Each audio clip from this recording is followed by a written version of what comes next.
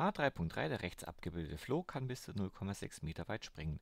Kreuzen Sie an, wie weit ein 1,8 Meter großer Mensch ungefähr springen würde, wenn er im Verhältnis zu seiner Körpergröße, Körpergröße genauso weit wie dieser Floh springen könnte.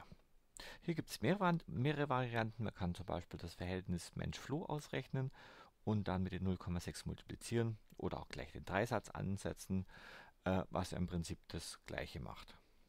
Wenn man über das Verhältnis ähm, extra geht. Verhältnis Mensch zu Floh. Wir haben 1,80 Meter großer Mensch umgerechnet in die gleiche Einheit, also auf den Floh umgerechnet sind 1800 mm. Geteilt durch die 3 mm vom Floh gibt einen Wert von 600. Das bedeutet, der Mensch ist 600 mal so groß wie der Floh.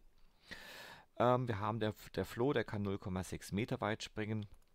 Jetzt mal dieses Verhältnis äh, multipliziert. 0,6 mal 600 sind 360 Meter. Ja, 0,6 Meter. Schreiben wir hier damit rein.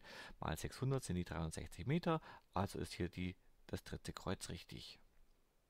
Ja, über einen Dreisatz können wir natürlich auch gleich rechnen. Ähm, man kann zum Beispiel wie folgt aufschreiben. Die 1800 Millimeter vom Floh, äh, vom Mensch entsprechen die 3 Millimeter vom Floh.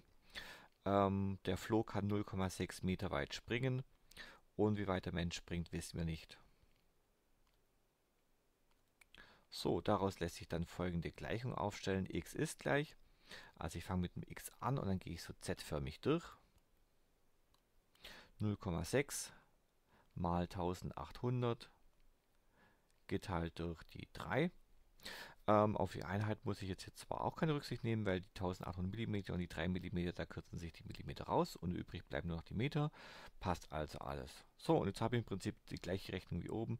1800 geteilt durch 3 sind 600, 600 mal 0,6 sind die 360 Meter.